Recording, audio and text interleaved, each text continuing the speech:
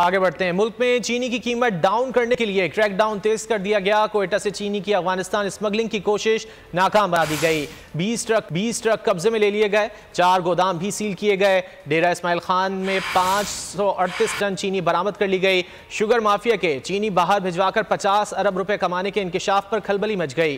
पंजाब हुकूमत ने secretary food को मिसकंडक्ट पर ओहदे से हटा दिया।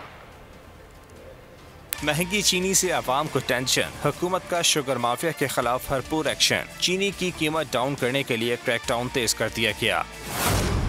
कस्टम ने कोयटा से चीनी की अफ़गानिस्तान स्मगलिंग की कोशिश नाकाम बना दी। सरहदी इलाके से 20 ट्रक कब्जे में ले लिए गए। कमिश्नर कोयटा के मुताबिक मुख्तलिफ़ इलाकों में चार गोदाम भी सील किए गए। डेरा इसमाइल खान में भी कार्रवाई के दौरान पाँच सौ अड़तीस टन चीनी बरामद की गई महँगी चीनी किस तरह बेचैनी का सबब बनी, अहम हक सामने आ गए। सराय के मुताबिक पंजाब से शुगर माफिया ने 10 लाख टन चीनी बाहर भेज दी। माफिया ने अवाम को मुश्किल से दो चार करके 50 अरब रुपए कमाए। शुगर मिल्स मालकान ने बड़े गोलमाल के बाद हुकूमत को मुजाकर की पेशकश कर दी। सूबाई हुकूमत ने मिसकंडक्ट पर सेक्रेटरी फ़ूड को अहदे से हटा दिया। सेक्रेटरी एग्रीगेशन वासिफ खुर्शीद को एडिशनल चार्ज दे दिया गया।